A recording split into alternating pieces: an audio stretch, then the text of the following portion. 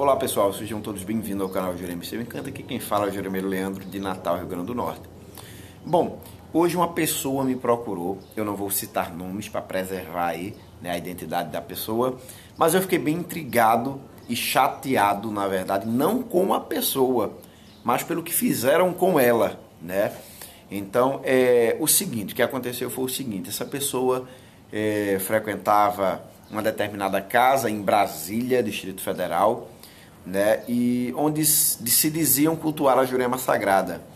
E lá essa pessoa disse que foi consagrada, já na Jurema Sagrada, só por beber o chá da Jurema Sagrada, que a gente sabe que não é chá, a gente sabe que é uma bebida, né? Enfim. Então, é, ela já seria consagrada só em beber a Jurema Sagrada.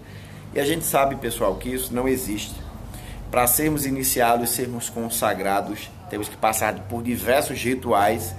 Beber a bebida da Jurema é apenas um dos rituais que não tem nada a ver com a iniciação. Né? Nós podemos beber a qualquer momento a bebida da Jurema, assim tenha para se beber. Né? Mas enfim, vamos lá.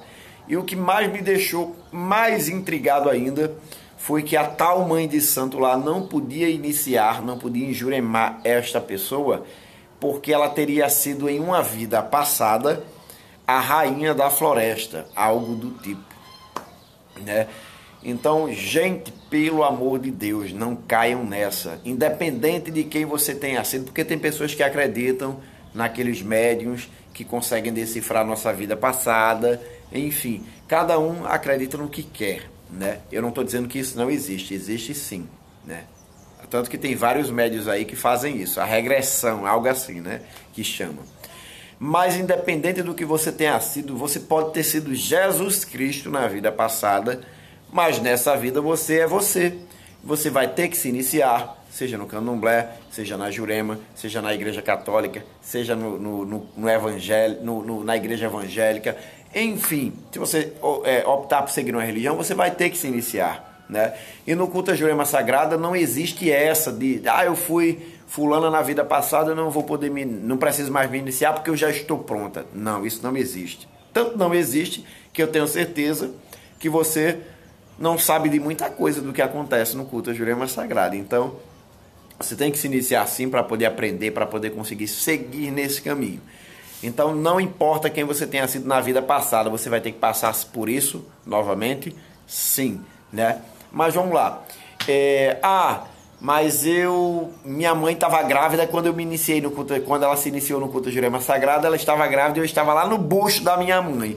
Não importa. Você vai crescer, você vai nascer, você vai crescer. E se tiver que ser um juremeiro, você vai ser. Mas também vai ter que ser iniciado do mesmo jeito. Não, não me digam que tem isso de ter nascido já, de estar tá lá no bucho da mãe quando ela foi enjuremada, quando ela foi iniciada, e vai ser já um juremeiro sem precisar se consagrar, porque também não existe. Na minha opinião, não existe. Na minha opinião, mas tem gente que acredita, então continuem acreditando, né? Mas isso me deixou muito triste porque mostra que ainda tem muita gente aí para fora que eu não sei o que é que esses idiotas, esses imbecis, esses sem noções, sem noção continuam a fazer, a mexer com o que não conhecem, porque a Jurema não é brincadeira, tá entendendo? Assim como o Candomblé não é, a Umbanda não é, a Quimbanda não é. Então vem esses imbecis, esses sem noções, que não têm o que fazer, que muitas vezes para retirar dinheiro, para prender alguém naquela casa, começa a inventar história, dizer que a, a, a, ayahuasca tem a ver com a jurema, que a jurema é igual a ayahuasca, que o santo daime tem a ver com a jurema e é uma coisa só, nada disso. Jurema é jurema, candomblé é candomblé, o santo daime aí é santo daime. Enfim, cada um no seu quadrado, gente, vamos esquecer. E lembrar de uma coisa, o culto à jurema sagrada é o culto à jurema sagrada, ponto final não tem nada a ver com banda, não tem nada a ver com quimbanda, não tem nada a ver com candomblé, né? Os rituais são totalmente diferentes. Então, agora uma coisa pode sim complementar a outra, mas não que tenha nada a ver. Nada a ver. Vamos lembrar disso. Culto à Jurema Sagrada é culto à Jurema Sagrada e ponto final. E vocês, idiotas, sem noções, que não sabem o que estão fazendo, que vão mexer com que o que não sabem, vocês vão pagar. Ou paga hoje, ou paga amanhã, ou paga lá na frente. Mas paga Sim, porque os senhores mestres existem, os caboclos de nossa Jurema Sagrada existem, os bons espíritos e maus espíritos existem também. Tá aí. Para pegar aí quem anda fazendo essas coisas erradas. Né? Então fica aí o recado. Desculpa o desabafo, mas essas coisas me entristecem e me deixam bastante chateado. Um forte abraço e deixem aí nos comentários se vocês já passaram por algo do tipo.